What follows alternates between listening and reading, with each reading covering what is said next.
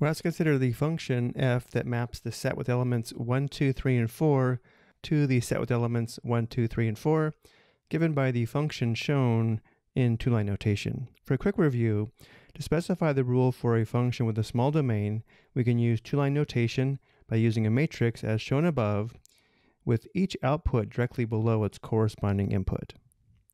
The set of all inputs for a function is called the domain. The set of all allowable outputs is called the codomain.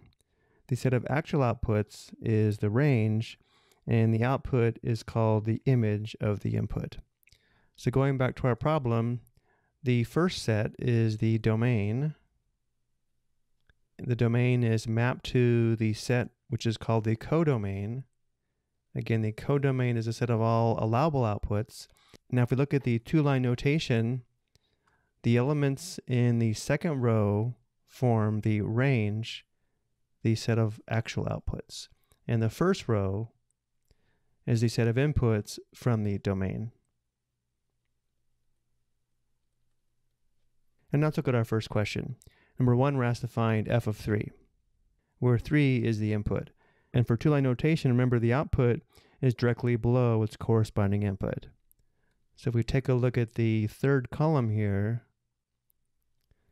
this indicates that f of 3 is equal to 4. Where we can say when the input is 3, the output is 4.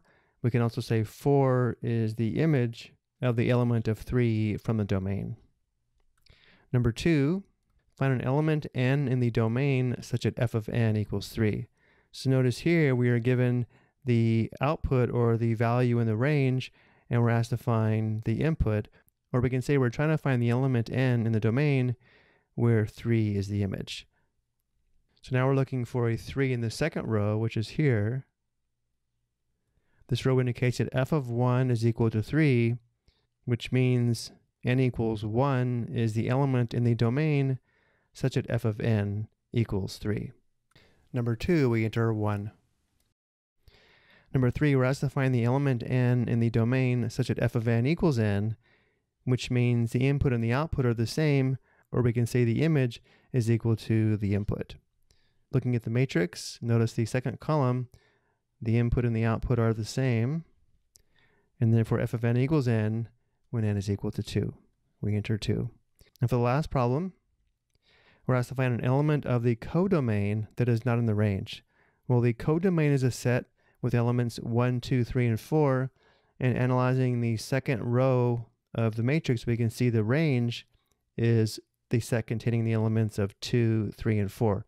Notice 1 does not appear in the range, and therefore the element of the codomain that is not in the range is the element of 1. I hope you found this helpful.